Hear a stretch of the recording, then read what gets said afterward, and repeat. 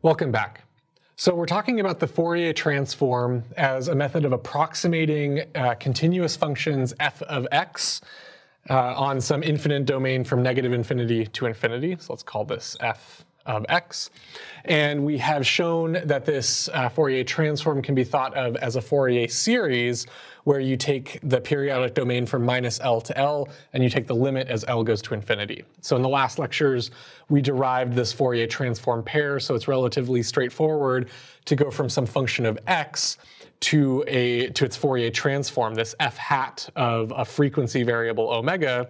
And if you had this Fourier transform f hat, you could go back to the space domain f of x.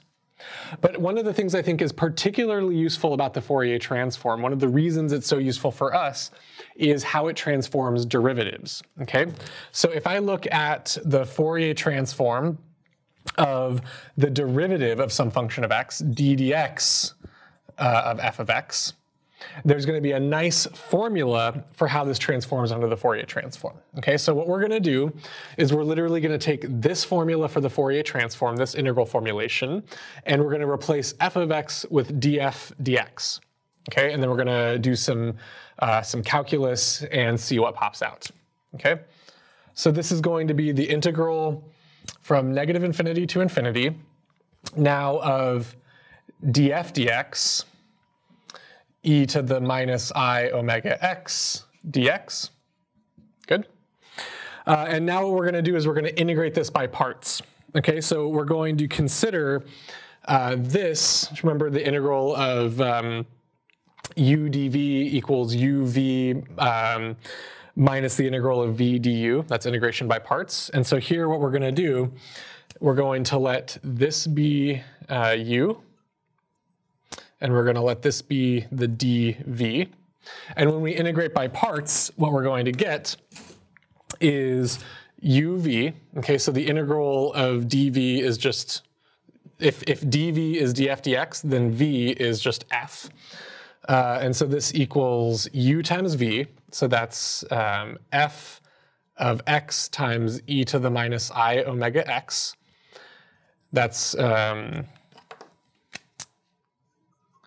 u, v. And you always take that evaluated at the bounds of integration, so that's from minus infinity to infinity.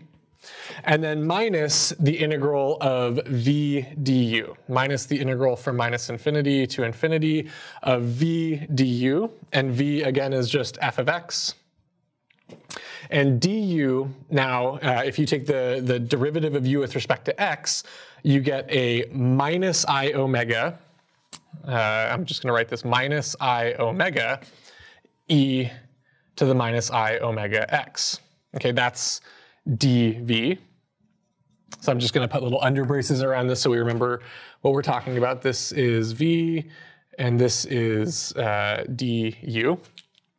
Okay, so all we've done here is we've taken the Fourier transform of the derivative of f with respect to x, and we're using our simple integration by parts formula. So we're letting the df dx be my dv, and my e to the minus i omega x be the u. That equals uv evaluated at the bounds of integration minus the integral of v du. Good. Uh, and now you're going to see that this minus and this minus are going to cancel. That's nice. So there's an important part of this uh, that I, I want to point out, which is um, so e to the minus i omega x for all x. This is this is a comp for all real valued x. This is a complex, a purely imaginary exponent, and so e to the i anything is going to give you cosines and sines, and the kind of length of this complex number, the, the norm of this complex number is going to be 1. Okay, it's going to be on a circle with a different angle given by minus omega x. Okay, so this at most has length 1. Okay, and it's multiplied by f of x. This is a very important property of the Fourier transform that I need to tell you, is that your function f of x has to decay to zero at plus and minus infinity. This only makes sense, this Fourier transform pair only makes sense if f of x decays to zero at uh, as x goes to positive and negative infinity. Okay, so the way I drew it here, where this uh, this hat function dies out to zero, those are the only kinds of functions you can represent where they die out to zero. So this f of x evaluated at plus infinity or minus infinity has to be equal to zero, and it's multiplied by e to a purely imaginary number, so that zero times something that has norm one is equal to zero. Okay, so this is going to equal zero at those bounds of integration. And so this entire integral expression now is going to equal just all of this stuff here. So my minuses cancel, and I get a plus um, negative infinity to infinity. Since this integral is with, with respect to dx, I can pop my i omega out. So this is an i omega integral negative infinity to infinity of f of x uh, e to the minus i omega x dx. And this is really nice. This expression here, this entire integral here, is just the Fourier transform of f of x. This is just the Fourier transform of f of x. And so what we get after this entire procedure, this chain rule procedure, is that the Fourier transform of the derivative of a function is just i omega times the Fourier transform of the function itself. Okay, so this is equal to the Fourier transform of df dx.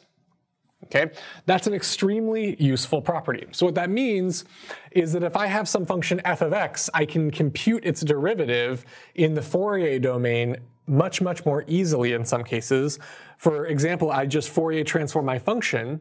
I multiply that, that function by i omega, so my derivative becomes a multiplication in the Fourier domain. I take my, my Fourier transform and I just multiply it by i omega, and that's the Fourier transform of the derivative of my function. Okay? And we're going to find that this is actually very useful for computations. Sometimes I can compute this derivative more accurately in the Fourier transform domain. If Sometimes I can approximate df dx more accurately by first Fourier transforming f, then multiplying by i omega, and then inverse Fourier transforming. Okay, so that's a frequent thing we do. That's called the spectral derivative, and we're going to code that up in MATLAB and Python. We're going to see that it's more accurate than doing a finite difference, central difference, forward difference, or backward difference derivative uh, like you would normally do. Okay, so that's particularly useful. It's also really nice because you can transform partial differential equations into ordinary differential equations this way. So this is really cool. If I have some PDE like UTT equals uh, some constant UXX, so this is just the, um, the, the wave equation, okay? So U is a function of t and of x, of time and of space. And if I Fourier transform, so this is a PDE,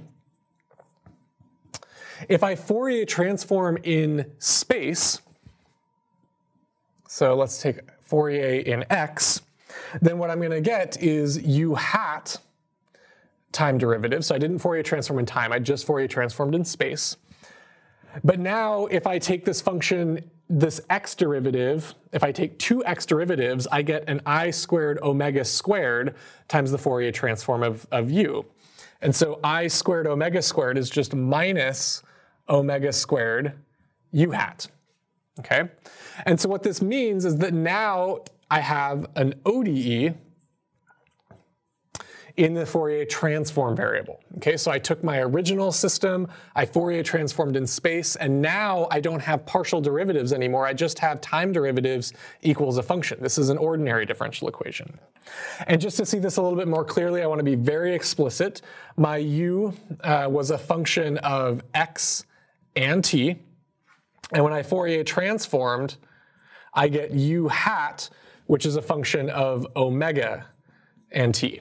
Okay, so that's what I mean when I say I Fourier transform uh, in x, is I do this Fourier integral with respect to the x variable and I swap out space for a spatial wave number, a spatial frequency omega. And now you can convince yourself that if I take the partial derivative of either of these with respect to time, I can essentially pass a derivative with respect to time anywhere I like in this integral. I can bring it inside the integral or outside the integral because my time derivative commutes with my integral with respect, with respect to space. Okay? And so what that means is that if I Fourier transform with respect to space, this u hat now is a function of omega and t. And so u hat, I can still take partial derivatives in time, and now I get an ordinary differential equation. Uh, in fact, I get one ordinary differential equation for each omega.